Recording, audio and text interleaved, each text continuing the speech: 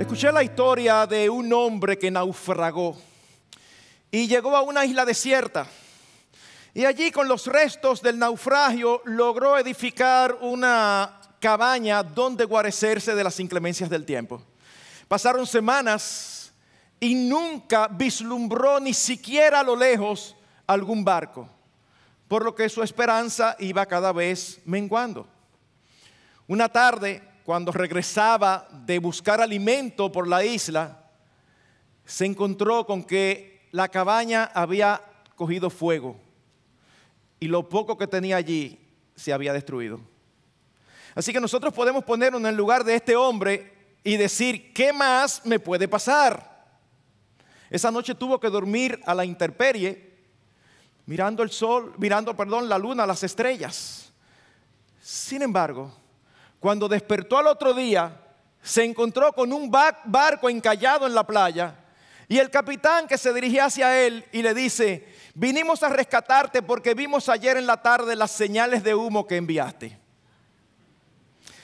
Nuestras vidas están llenas de detalles, circunstancias, eventos, grandes o pequeños, insignificantes o trascendentales.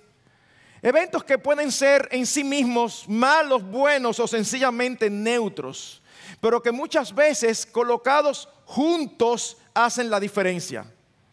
Pero el único que puede juntarlos para que sean provechosos es nuestro Dios que gobierna los cielos y la tierra. Es precisamente lo que Él hace todo el tiempo, en el pasado, en el presente y en el futuro, a través de su providencia. Como hemos visto hasta ahora y como veremos de una manera eh, en todo su esplendor en la tarde de hoy en los capítulos que tenemos por delante. Cuando llegamos al capítulo 6, inmediatamente vemos allí cómo Dios controla hasta los más pequeños detalles. Habíamos concluido el capítulo anterior con una horca que había sido preparada por Amán para Mardoqueo. Así que esa misma noche en que se preparaba la horca, posiblemente los hombres amaneciendo, porque no era una horca sencilla, era una horca grandísima, así que puede ser que sea de esos días que se trabajan hasta el amanecer, en esa misma noche se nos dice en el relato que el rey no podía dormir. Y parte del impacto de esta historia es disminuido porque estamos acostumbrados a las películas.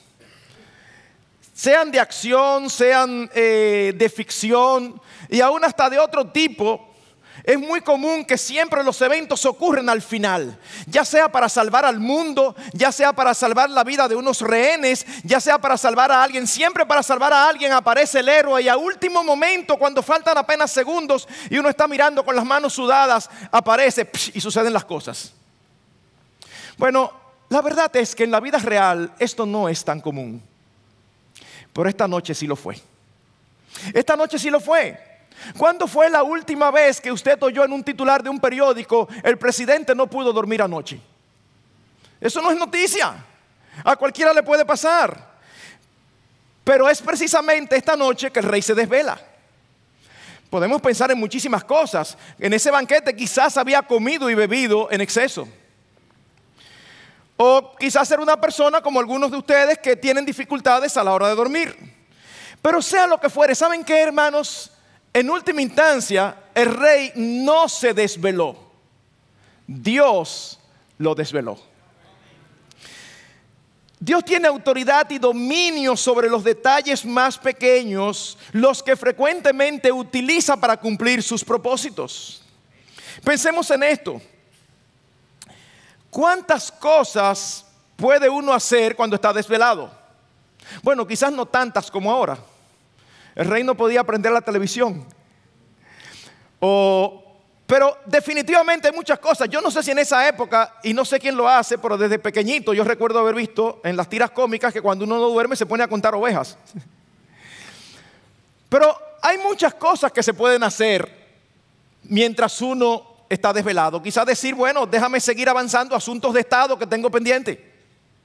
Pero al rey se le ocurre, entre comillas, leer, o más bien que le lean. Y él manda a buscar el libro de las memorias. Sí, ese mismo libro que relata y recoge las crónicas. Y cuando le empiezan a leer, nos preguntamos también, ustedes saben, un libro de las memorias de todo lo que pasa en un reino, ¿cuántas cosas debe haber escritas allí? A través de los años, él pudo haber leído de, de las memorias de otro rey, o aún leyendo de sus propias memorias, quién sabe todo lo que había allí.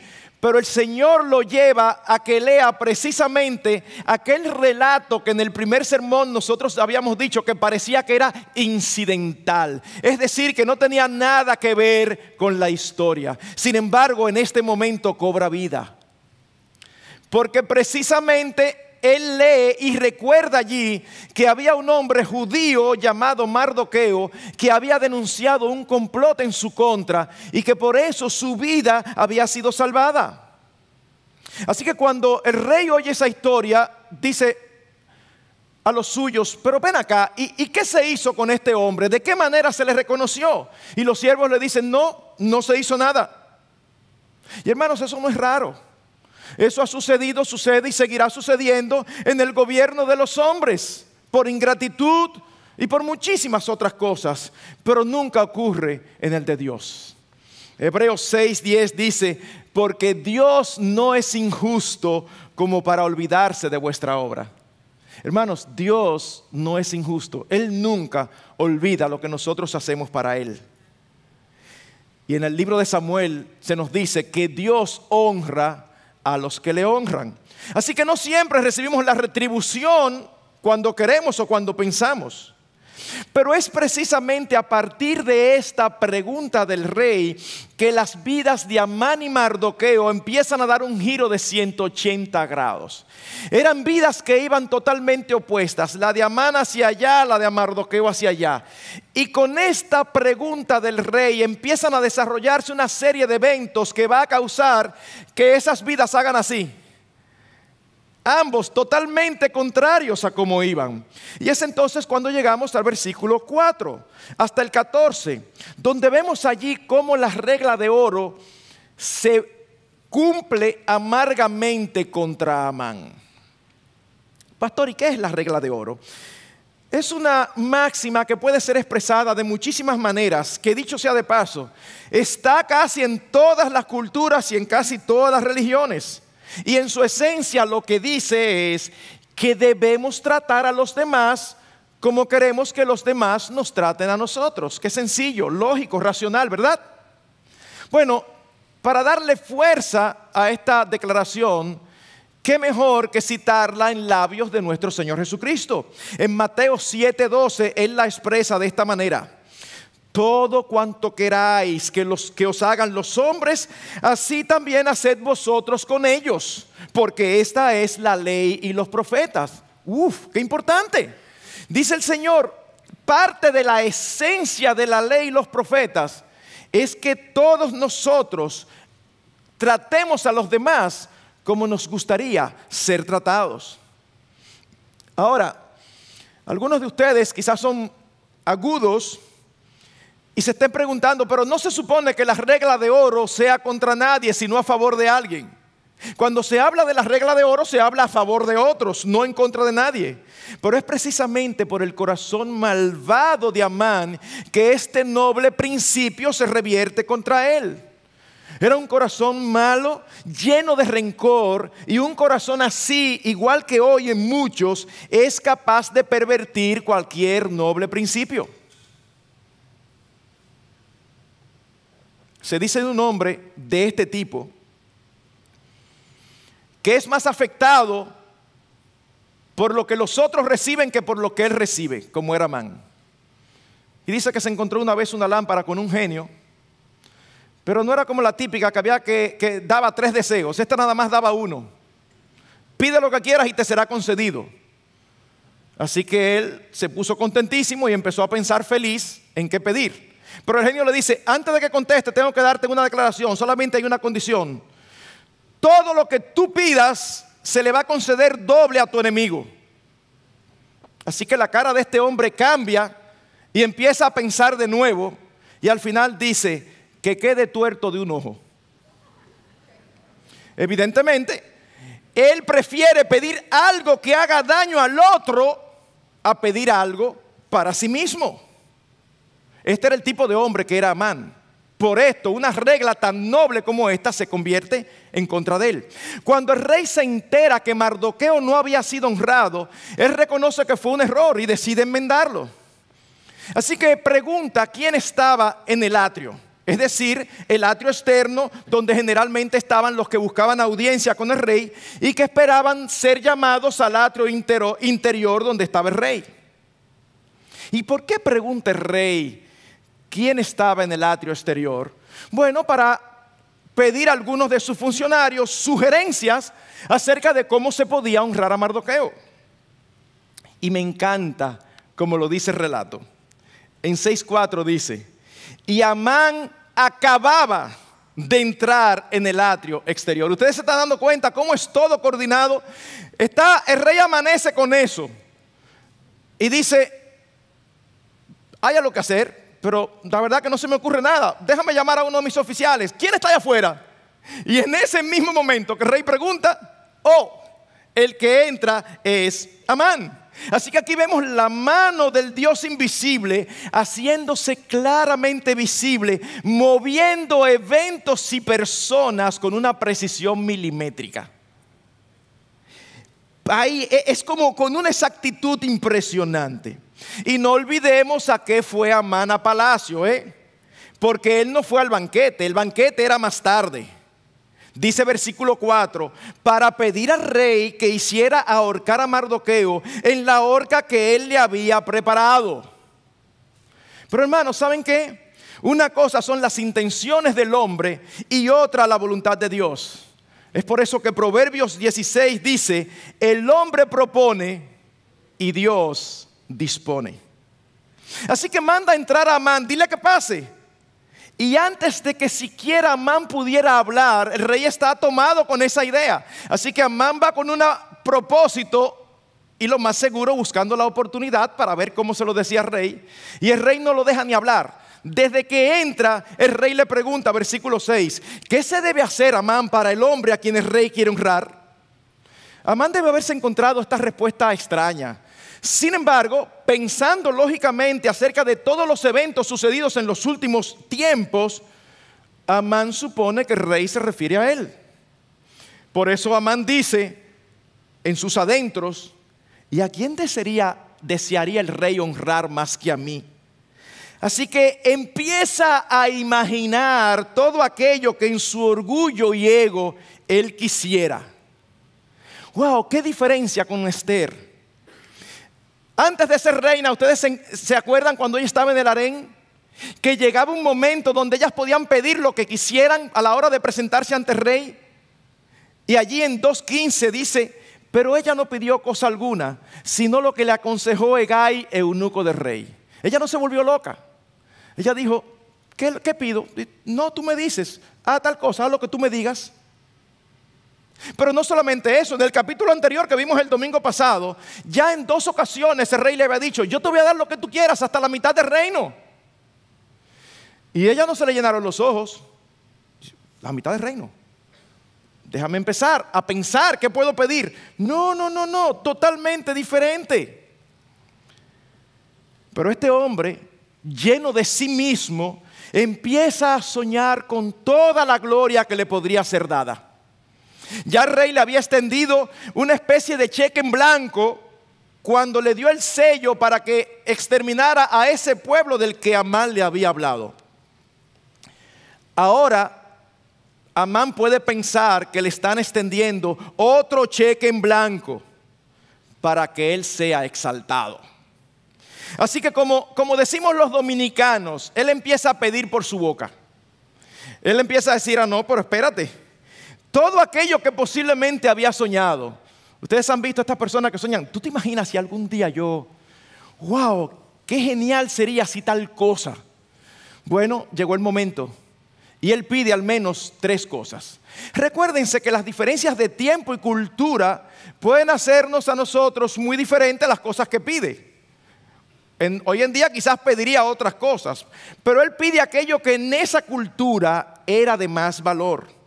Tres cosas. Él dice, bueno, eh, y yo supongo como muy desinteresadamente, como verdad, como que él no sabe a quién es, seguro de que era él. Mira, al hombre que el rey quiere honrar sería interesante si lo visten con un manto real que haya vestido el rey. Había ciertos vestidos que se utilizaban para honrar a personas específicas, pero no es esto lo que él pide. Él pide un vestido valioso que perteneciera al rey y que ya el rey lo hubiera usado.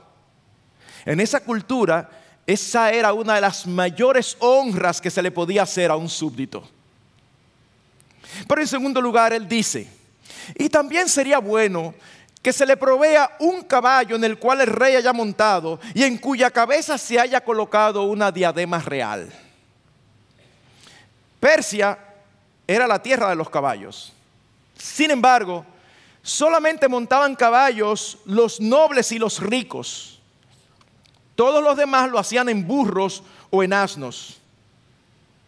Así que él pide un privilegio de noble y que el rey lo haya montado. Y también que en el caballo haya sido puesto una corona. Para nosotros eso es raro porque uno dice como una corona en un caballo. Bueno, la verdad es que en los escritos clásicos no encontramos relatos de caballos con corona, pero sí aparecen en los cuadros antiguos, tanto en los sirios como en los persas, caballos que en sus cabezas tienen decoraciones que terminan en tres puntas. Pero él tenía otra más. Ah, rey, y déjame decirte otra cosa, me parece que sería bueno también que uno de los príncipes más nobles del rey lo lleve por la ciudad pregonando. Así se hace al hombre a quien el rey quiere honrar. Así se hace al hombre a quien el rey quiere honrar. Esta era una ceremonia que se hacía de vez en cuando y generalmente duraba unas cuantas horas. Al rey le encanta la idea.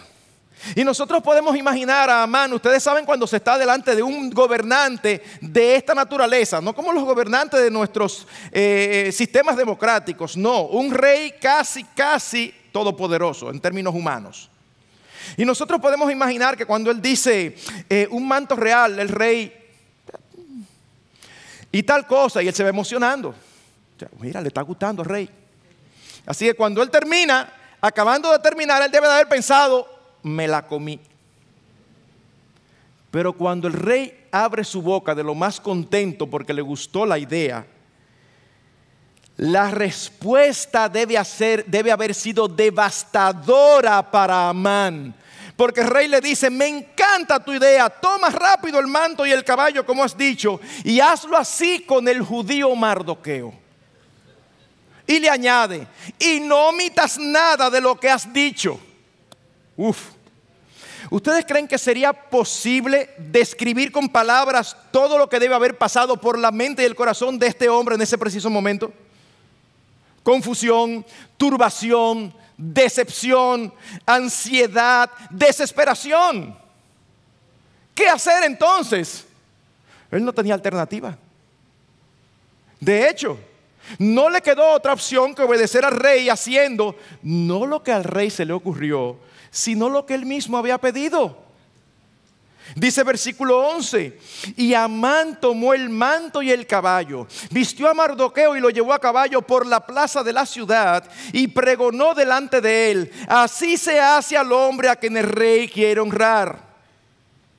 Hermano, ¿ustedes se imaginan la escena? ¿Cuál sería el deseo de Amán? Desaparecer de la escena.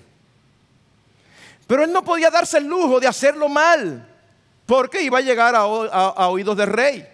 Así que este hombre que odia a este que está siendo exaltado, había una exaltación incluida para él. Él había dicho a uno de los oficiales más nobles. Y el rey dijo, bueno, tú eres de los oficiales más nobles míos, así que hazlo tú.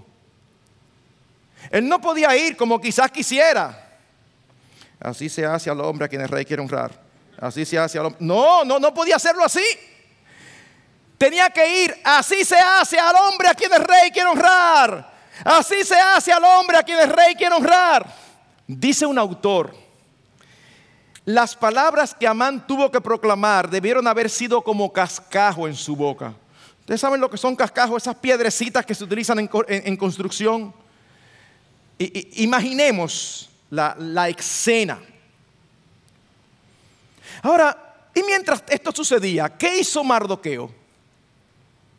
No tenemos ninguna referencia a Mardoqueo. Pero podemos razonablemente imaginar algunas cosas. En primer lugar, debía estar sumamente sorprendido. Lo último que él había escuchado de la corte era que Esther se iba a arriesgar después de tres días de ayuno a entrar.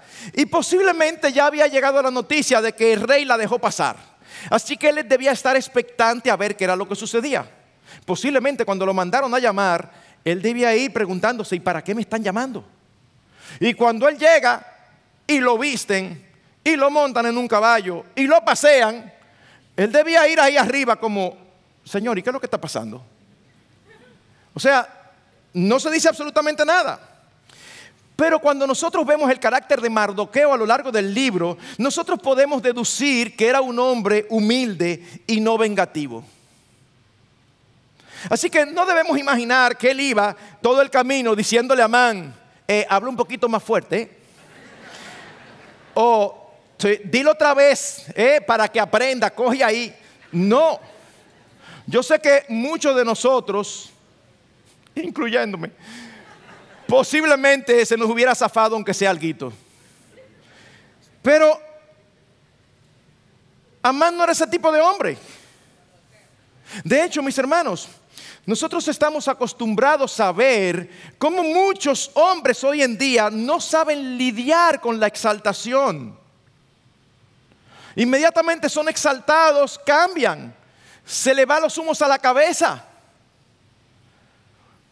Uno se ha acostumbrado a cosas que de verdad son, ¿qué palabra usar? Ridículas. Usted escucha a los deportistas proclamar ellos mismos con su boca que ellos son los mejores. Yo no, yo soy el mejor del mundo. Ellos mismos, y no le dan ningún rubor, ellos lo dicen como que están diciendo cualquier otra cosa. O artistas cuando hay premiaciones. Yo soy el mejor, a mí fue que debieron de darme el premio. Pero hermanos, un hombre humilde que ama al Señor y a su pueblo no actúa de esa manera. Cuando todo terminó, varias horas después, se nos dice que Mardoqueo regresó a la puerta del rey. ¿Cómo así? Oh, que él sencillamente, después de ser exaltado, él vuelve al mismo sitio donde él había estado a lo largo del libro, a lo largo de los meses y de los años, en toda la historia. El mismo lugar donde acostumbraba estar antes. Él no hizo como Mardoqueo, como Amán, perdón. Él no reunió a los suyos para contarles su gloria, sino que simplemente regresó al lugar donde cumplía regularmente con sus responsabilidades. Igual que David, que cuando fue ungido por Samuel, siguió su vida normal esperando en Dios el tiempo de su coronación. Hay que esperar en Dios, que sea Dios que resuelva las cosas, mientras nosotros hacemos lo que está a nuestro alcance. Él no demandó un ascenso, ni entendió que ya la puerta no era un lugar digno para él. No, no, no. ¿Y Amán? ¿Qué hizo Amán? Tan pronto terminó la tarea tan desagradable y frustrante para él, dice versículo 12, se apresuró a volver a su casa lamentándose con la cabeza cubierta. ¿Qué hubiera pasado en nuestros días? Usted no ha visto en nuestros días cuando atrapan a algunos de esos grandes funcionarios por dolo, por fraude. ¿Usted no los ha visto? Ellos entran al juzgado así, como que, como que van a entrar a una, a una obra de teatro cómica y saludando. Es como el orgullo no les permite doblegarse. Sin embargo, el golpe había sido tan fuerte para Man que él no disimula. Él no disimula, él termina su labor y dice que regresa a su casa lamentándose con la cabeza cubierta. En esa época, cubrirse era señal de un profundo dolor y de humillación. En el segundo libro de Samuel, el capítulo 15, 30, se nos relata cuando Absalón, uno de los hijos de David, le da un golpe de estado. Y dice que David se dirigía a las afueras de la ciudad con los suyos. Y dice que iban todos cubiertas, todos con la cabeza cubierta. Y en Jeremías 14:4, hablando de una situación particular, dice, quedaron avergonzados y humillados y se cubrieron la cabeza. Así que Amán llegó destrozado a su casa. Lo que acababa de ocurrir era una viva ilustración de la verdad bíblica dicha por el Señor Jesucristo. Porque el que se enaltece será humillado y el que se humilla será enaltecido. Es impresionante cómo eh, eh, una cosa es oír esta verdad y otra cosa es verla en la vida diaria de una persona o en la vida de una persona en un evento particular. Hay mucha relación, no sé si se habrán dado cuenta, entre la historia de Esther y los principios sabios del libro de Proverbios. No es la primera vez que nosotros citamos Proverbios. Y recordamos que las sentencias de Proverbios no son promesas. Son declaraciones sabias de lo que normalmente ocurre en el devenir de la vida de los hombres. No son promesas, pero ocurren con mucha frecuencia. Por ejemplo, Proverbios 18, 12 pareciera expresar esta historia de una manera sumamente eh, descriptiva. Dice, antes de la destrucción el corazón del hombre es altivo, pero a la gloria precede la humildad.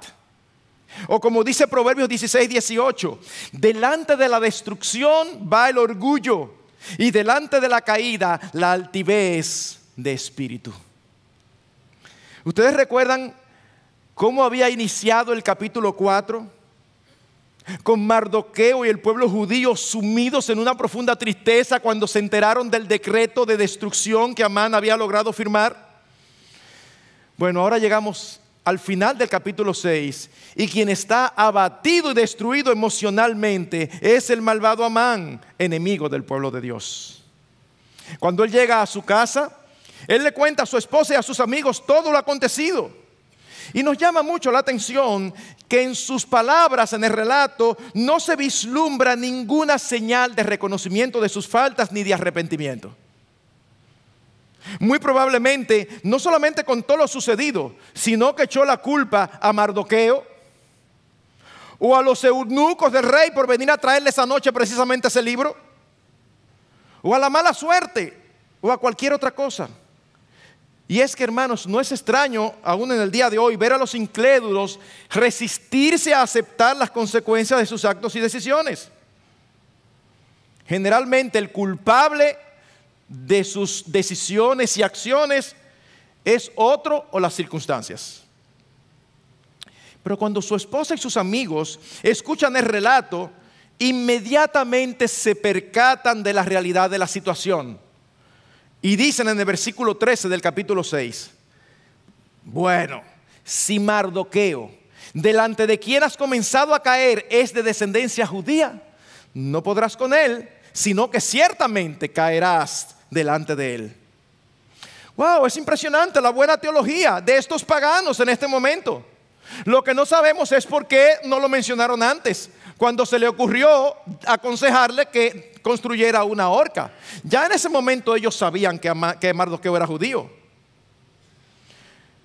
Quizás habían oído la verdad en ese tiempo de que los judíos estaban bajo el cuidado de Dios y empezaron a sospechar que era cierto al ver el giro drástico y repentino que habían tomado los acontecimientos de las últimas horas.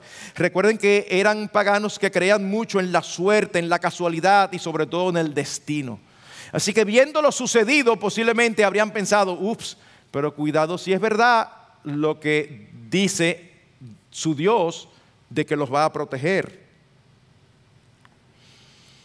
Otros piensan que es un recurso literario que refleja la, teología del autor proclamada por la boca de la esposa de Amán y de sus amigos. Lo cierto, hermanos, es que Dios había prometido, tan temprano como en Génesis 12.3, cuando hace el pacto con Abraham de hacer de él una gran nación de donde vendría el Mesías, Dios le dice allí, bendeciré a los que te bendigan y maldeciré a los que te maldigan Y en este momento histórico, Amán había maldecido al pueblo del pacto y ahora estaba siendo maldecido por Dios. Por otro lado, la semana pasada habíamos hablado de lo triste que es, tener una esposa y amigos que no ayudan ni aconsejan bien. Este momento hubiera sido el perfecto, la oportunidad ideal para aconsejarle arrepentirse, humillarse pero parece que esas cosas no eran parte de la concepción de la vida de estos hombres y mujeres. Qué difícil hoy es encontrar hombres y mujeres capaces de humillarse y reconocer sus faltas y sus pecados. Charles Colson fue un cercano colaborador del presidente Richard Nixon. Y en sus memorias, él escribió un libro que relata sus experiencias en el caso de Watergate. Y dice que una de las características del presidente Nixon era su dificultad en reconocer que estaba equivocado en algo. Dice él, él no reconocía. Pero era tal que en ocasiones él estaba resfriado, agripado y era evidente por estornudos, pituita o lo que sea, y él nunca lo admitía.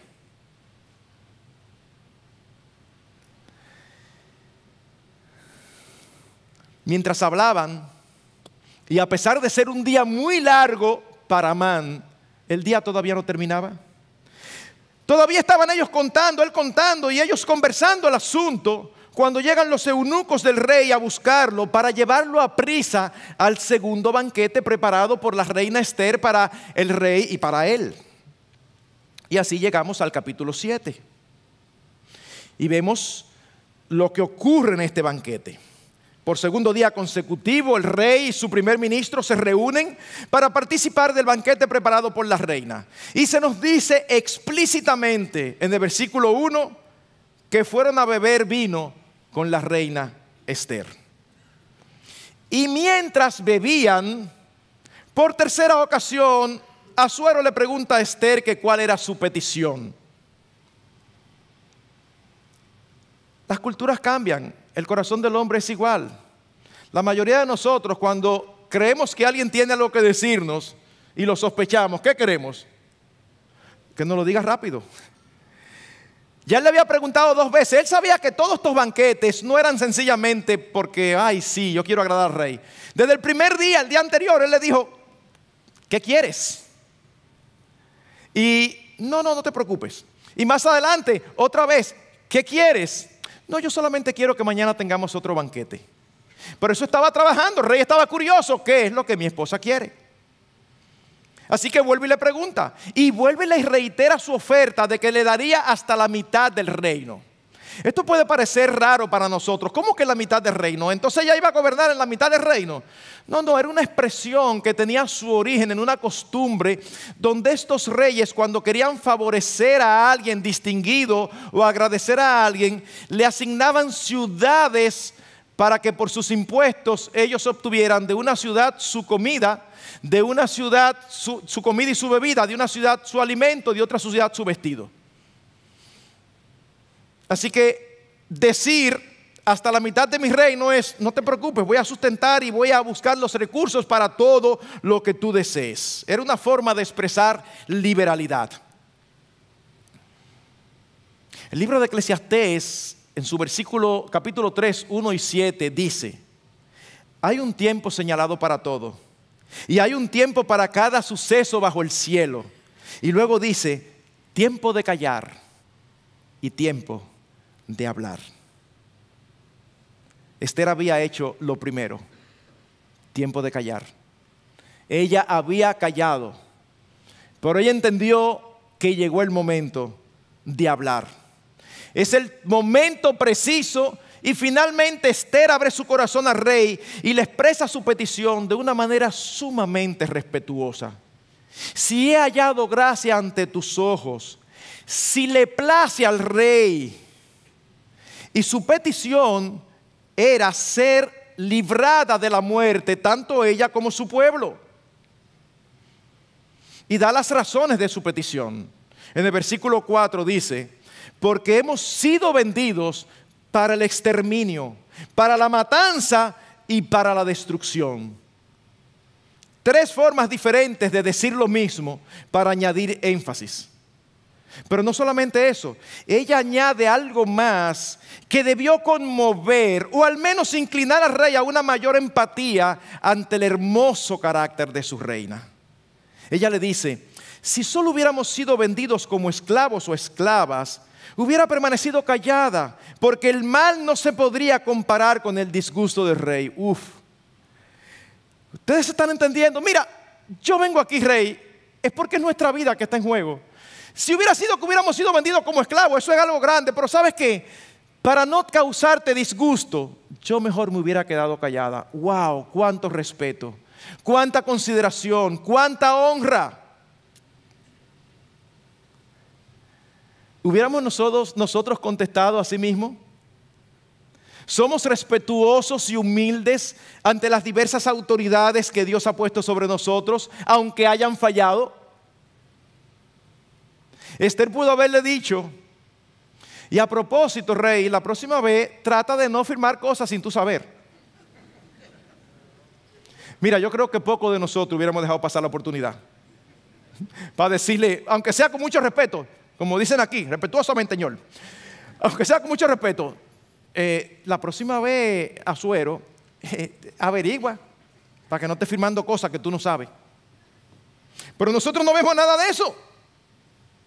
Así que vemos cómo Amán es descubierto, denunciado y condenado a partir del versículo 5. Azuero le pregunta a la reina, ¿y quién es? ¿Y dónde está el que pretende hacer tal cosa? Y Esther responde, el adversario y enemigo es este malvado Amán. Una vez más, me hubiera encantado estar en esa escena viéndola por un, algún huequito. Uno no se imagina lo que ese hombre debió haber sentido. Ellos tres allí solitos. Claro, eunucos y cosas alrededor, pero ellos tres, personajes principales. Ella había retardado hablar, pero cuando lo hace, no solo señala al autor del plan macabro, sino que lo, lo califica clara y firmemente delante de su esposo, diciéndole, ¿quién es? Él no dice, ese que está ahí, no, dice, ese malvado Amán poniendo así más peso en sus palabras y dando más motivos a la reacción airada del rey. Y la reacción emocional de Amán es muy descriptiva en este momento. Dice versículo 6, entonces Amán se sobrecogió de terror delante del rey y de la reina. No fue que se asustó, no fue que dijo, ay mi madre, ¿en qué lío yo me he metido? No, fue ese tipo de temor que te hace temblar desde la punta del cabello hasta los últimos deditos del pie. Se aterrorizó.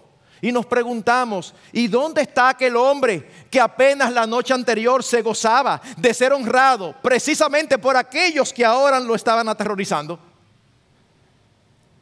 ¿Y saben qué? Él tenía razón de sentirse así, porque se acaba de dar cuenta que la reina era judía. Él no lo sabía, es en este momento que él se entera. De haberlo sabido de antemano, nunca se le hubiera ocurrido ese plan. El rey tan molesto, deja de beber vino y se levanta lleno de furor y sale hacia el jardín del palacio. Ustedes han visto cuando uno se molesta y se incomoda y mejor sale de la escena para no cometer algún acto que después se arrepienta, sale incómodo hacia el jardín. Y también es razonable porque él se acaba de dar cuenta que su mano derecha, su hombre de confianza, lo había puesto a firmar un decreto de muerte para su esposa, la reina. Así que es furia, indignación y decepción propia de haber sido engañado. De hecho, yo les había mencionado anteriormente que aparte de los cinco protagonistas principales, había un protagonista en el libro que no era un hombre, sino una actitud. Es el libro de, los, es el libro de la furia. Capítulo 1 se enfurece el rey. Capítulo 2 se enfurecen los eunucos. Capítulo 3 se enfurece Amán. Ahí se enfurece todo el mundo. Pero hasta ahora todas las eh, eh, eh, cóleras, todas las actitudes de ira habían sido por razones incorrectas. Esta es la primera ocasión que es una razón lógica, correcta, no pecaminosa. La indignación de haber sido engañado, la indignación de ver la maldad de un hombre.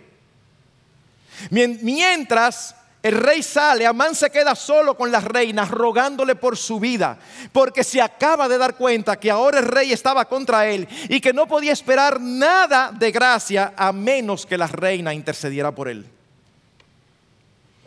Cuando Asuero se ha sosegado un poco y regresa del jardín, encuentra a Amán postrado en el lecho donde estaba Esther. En su desesperación, este hombre se había acercado a la reina de una forma más allá de lo prudente. Y esto enfurece todavía más al rey, que lo percibe como una gran falta de respeto. Y dice en el versículo 8, ¿aún se atreve a hacer violencia a la reina estando yo en la casa?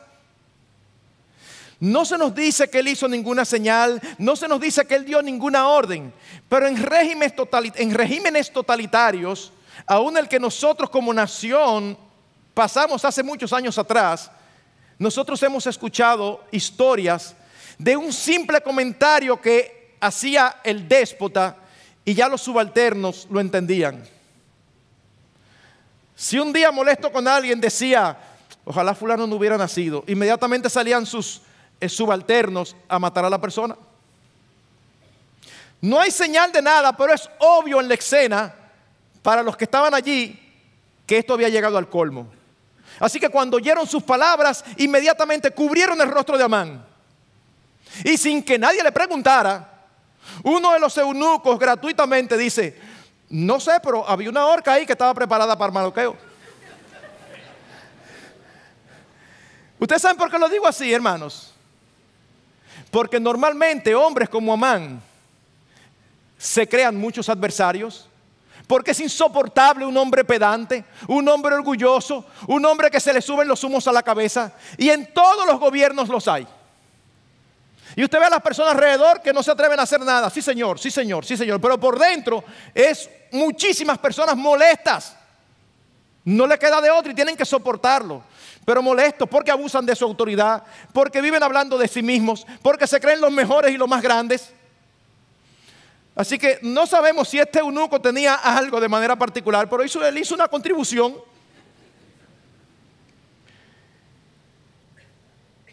La información dada por el eunuco tampoco la conocía Suero. Un hombre tan poderoso como este quizás con un sistema de inteligencia increíble. Ese es el día de enterarse de muchísimas cosas que él no sabía. Es en ese momento y no temprano en la mañana como estaba planificado por Amán, que él se entera que Amán había planificado matar precisamente al hombre que él había recordado que le había salvado la vida. Es por eso que es tan fácil para el rey decirle, ahórquenlo en ella le sale natural. Y el último versículo de este capítulo dice, colgaron pues a Amán en la horca que había preparado para Mardoqueo y se aplacó el furor del rey. Una vez más, cito Proverbios, se cumple Proverbios 11.8 donde dice, el justo es librado de tribulación y el impío toma su lugar. Wow. Ahora, Hermanos, ¿por qué cuando se llega a este punto de la historia, posiblemente todos nosotros nos sentimos gozosos o al menos satisfechos? Por un sentido de justicia que todos tenemos que proviene de Dios y que nos dice en lo más profundo de nuestro ser que tanto el mal como el bien deben ser recompensados. Cuando se hace justicia, el corazón se tranquiliza. Cuando Azuero dice, ahorcarlo en ella, su ira baja, porque él entiende que la justicia ha llegado. Y esta historia es una representación gráfica, muy gráfica, de la inexorable ley de la siembra y la cosecha. Dice Gálatas 6:7, todo lo que el hombre siembre, eso también segará. O Proverbios 22:8, el que siembra maldad cosecha desgracias el Señor lo destruirá con el cetro de su ira. Y era precisamente lo que acababa de pasar. O Oseas 8:7, muy parecido a un refrán donde dice que el que siembra vientos cosecha tempestades. Es un refrán que nosotros usamos. Bueno, Oseas 8:7 dice, porque siembran viento y recogerán tempestades. Es un principio bíblico. Ahora, hermanos, esto no siempre ocurrirá de este lado del sol que nosotros veamos tan claramente la justicia realizada. Pero ¿saben qué? Lo glorioso es que llegará el día prometido en que Dios pagará a cada uno conforme a lo que merece. ¿Cuándo ocurrirá esto? Cuando Cristo venga en su gloria y sea vindicado por el Padre a los ojos de todo el mundo. Sí, sí, pero ¿cuándo? ¿En qué tiempo? En el tiempo predeterminado por Dios en su soberana voluntad. Dios tiene control de lo pequeño, Dios tiene control de lo grande. A manera de resumen, conclusión, aplicación, una vez más, mis hermanos, somos testigos de la mano visible del Dios invisible, obrando a favor de su pueblo a través de su providencia. El rey no puede dormir en la noche, que según el plan de Amán sería la última con vida de Mardoqueo. Dos, el rey pide que le lean precisamente el libro de las memorias. Tres, la porción específica que leen es el relato de la denuncia de Mardoqueo a los eunucos, que había salvado al rey hacía cinco años. Cuatro, Amán entra en el atrio en el preciso momento que el rey pregunta quién estaba ahí para consultarle acerca de cómo honrar a Mardoqueo. Si no hubiera sido Amán, le hubiera preguntado a otro de sus funcionarios y posiblemente los resultados hubieran sido diferentes. Quinto, un eunuco recuerda la horca que Amán había preparado para Mardoqueo. Es como si todo estuviera calculado, pero de una manera específica. Y hermanos, si hay algo claro que nosotros vemos en todo esto, es que Dios tiene su tiempo para cada cosa. Tiempo que frecuentemente no es igual al nuestro. La mayoría de las veces es más extenso de lo que nosotros quisiéramos pero siempre es el perfecto. Siempre es el perfecto. A veces tenemos situaciones difíciles, situaciones complicadas y le oramos al Señor y le oramos al Señor y le oramos al Señor y parece que nada pasa. Como dice un autor, tenemos la tendencia a pensar que si Dios está realmente interesado en nosotros, cambiará las cosas dentro de los próximos 60 minutos, más o menos. En todo caso, antes de que se oculte el sol o en caso extremo, antes de que transcurra una semana. Pero Dios no es un esclavo de reloj humano. Por eso que dice su palabra que para Él un día son como mil años y mil años como un día. Dios tiene control total del tiempo, aunque Él no se rige por el tiempo como nosotros. Desde Génesis 3 tenemos la promesa de un redentor. Y pasan los años y pasan los años. Y luego se les repite esa promesa a Abraham. Y luego se les repite esa promesa a David. Y luego los profetas repiten la promesa vez tras vez.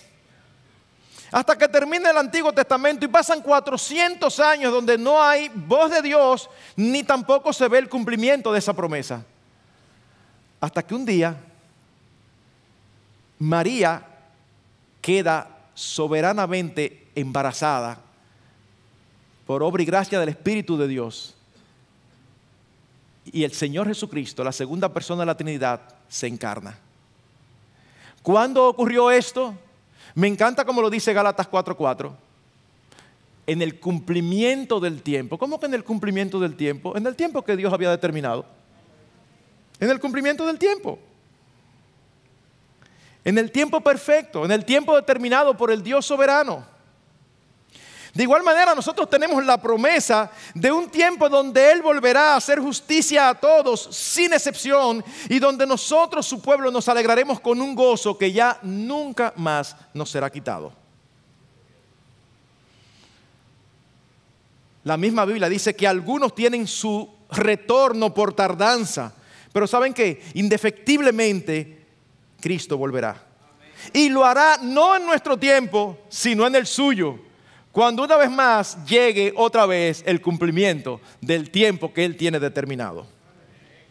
Y posiblemente sea cuando el panorama parezca que no puede ponerse más oscuro. Hermanos, nosotros no tenemos promesas de que si hacemos lo correcto vamos a cosechar los resultados que queremos. Nosotros tenemos promesas de que Dios va a estar con nosotros cuando nosotros cumplimos con nuestras responsabilidades. Nosotros no sabemos en qué va a parar toda esta situación tan vergonzosa con la que estamos lidiando en el país. Pero nosotros no vamos tras, tras resultados, nosotros vamos tras la obediencia. Y debemos de conducirnos como entendamos y Dios hará su voluntad. Nosotros no sabemos en el cumplimiento de nuestras responsabilidades qué detalle ínfimo o inmenso Dios va a usar para glorificar su nombre. No lo sabemos, pero Dios lo va a hacer, tarde o temprano. Así que hermanos, cuando nosotros nos acercamos a una historia como esta, nosotros podemos confiar en la verdad expresada por un himno que a propósito hace mucho que no cantamos. El mundo es de mi Dios. Jamás olvidaré que aunque infernal parezca el mal, mi Padre Dios es rey. El mundo es de mi Dios y al Salvador Jesús hará vencer con su poder por la obra de la cruz. Sigamos adelante, esperemos en el Señor, cumplamos con nuestras responsabilidades y pidámosle a Él que nos dé la sensibilidad para saber actuar en cada circunstancia de la manera más piadosa posible. Él sigue gobernando, no importa lo que, nosotros, lo que nuestros ojos ven. Y algún día nosotros nos gozaremos como nos gozamos cuando leemos el último versículo de Esther 7. Cuando los enemigos son derrotados e impera la justicia. Ese día llegará, ese día llegará. Y nos gozaremos con un gozo que nunca más será quitado. Será un gozo eterno. ¿Sueñas tú con eso? Soñemos juntos para la gloria de su nombre.